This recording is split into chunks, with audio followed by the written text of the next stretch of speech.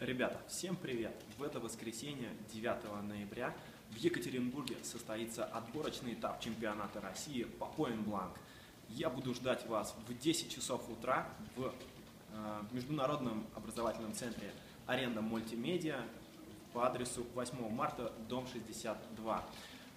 А в субботу мы с вами встретимся в 5 часов по местному времени, и где мы конкретно встретимся, решать вам. Так что оставляйте свои предложения в комментариях, и в пятницу мы решим, где конкретно мы встретимся и что мы будем делать.